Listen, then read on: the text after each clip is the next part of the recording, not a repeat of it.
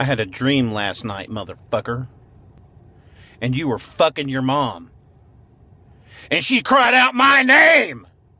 Fuck you!